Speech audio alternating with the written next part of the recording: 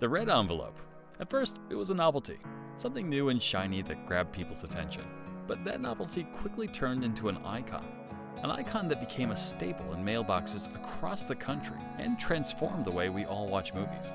I was a mailman back then, and one day I started to see the red envelopes, and I looked into what's going on here with this thing. People see it on the street when other people are returning theirs. There's like, whoa, it's a Netflix DVD. It's instantly recognizable.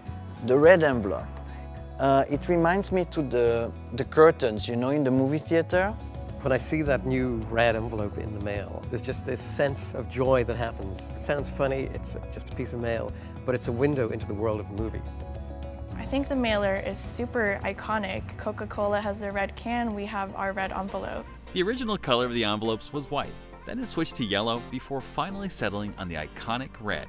In 2003, barcodes were added to make sorting and the return process easier. Before social media, Netflix used the interior to talk to members and make movie recommendations. At one point, Netflix even sent a holder you could store your DVDs in for safekeeping. As you can imagine, printing mailers for millions of customers is a big job. The numbers are pretty astounding.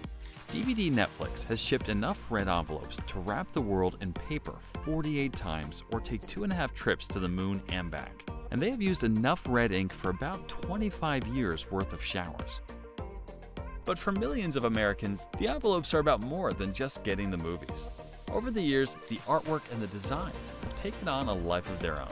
Working on the mailers is my favorite part of the job.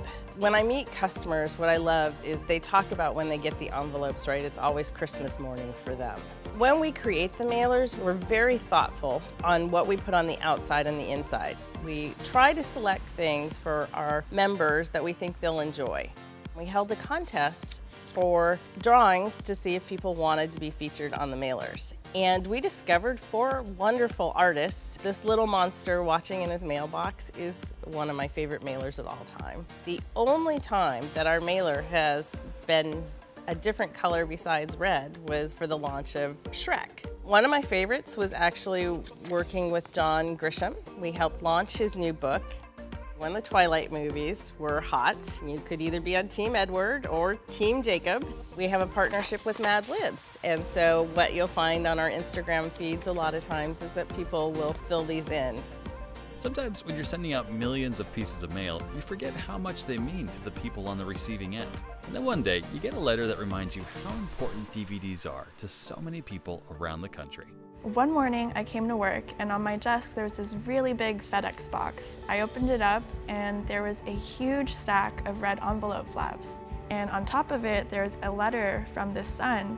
His mother Florence had just passed away last month at age 90 and as they were cleaning out her closet they discovered stacks on stacks, thousands and thousands of our red envelopes. And she had taken detailed notes of every movie she had ever watched rating them, saying what she liked about them, what were funny parts, what scared her, what made her cry. You know, she was her own, you know, Siskel and Ebert.